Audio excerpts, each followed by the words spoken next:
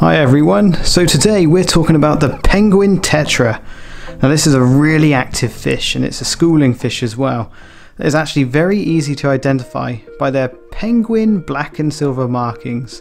You'll notice that the black stripe actually starts from just behind the eye and then it goes all the way down to the base of the tail and sometimes gives them the name hockey stick tetra. And if you haven't noticed by now just by watching this video, Another giveaway that this is a penguin tetra is that these fish have a peculiar swimming style and they all swim in a very odd upright sort of style so they're not fully horizontal but they're kind of tipped towards the surface of the aquarium.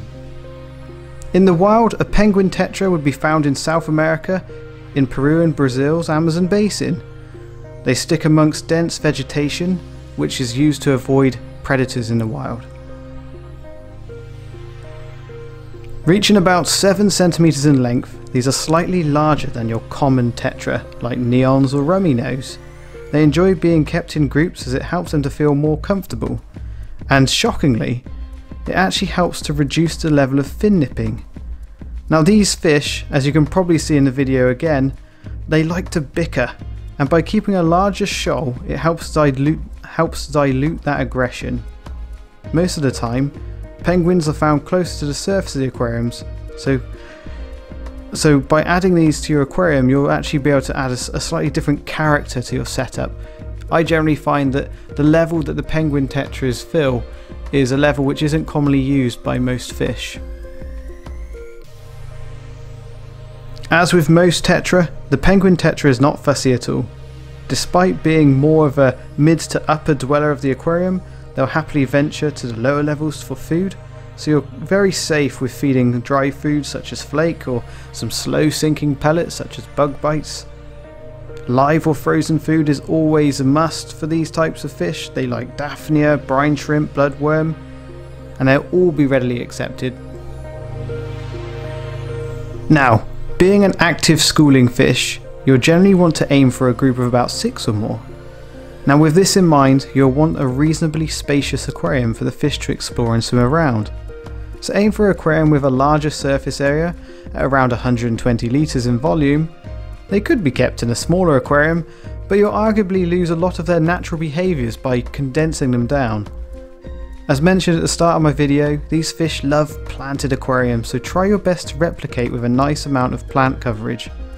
These fish also contrast very well against a green or a red background. Most penguin tetra available today have been captive bred, so, so they would actually be adapted to deal with a wide range of water conditions.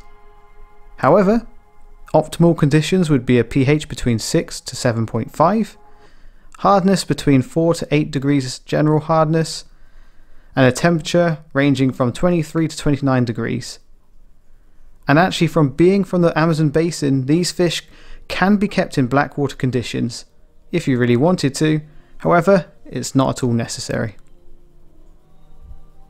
When it comes to tank mates of penguin tetras, when kept in a group, penguin tetra are very peaceful and generally keep to themselves.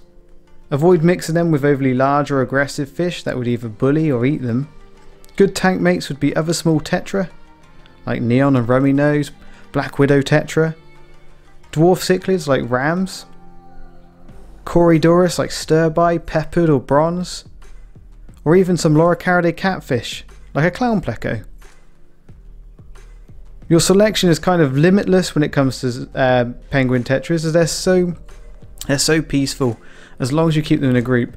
The only advice would be just fair warning if you're keeping them with some long finned fish like angelfish or guppies maybe even some gourami, just keep an eye on keep an eye on them because they can actually become quite nippy. Not to the extent of something like a tiger barb, but still well worth just keeping an eye on because it wouldn't be fair to put them in an aquarium where another fish can't escape their aggressive little mouths.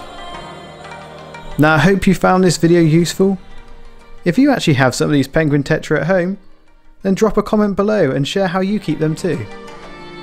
Have a good day and thank you for watching and I'll see you in the next one.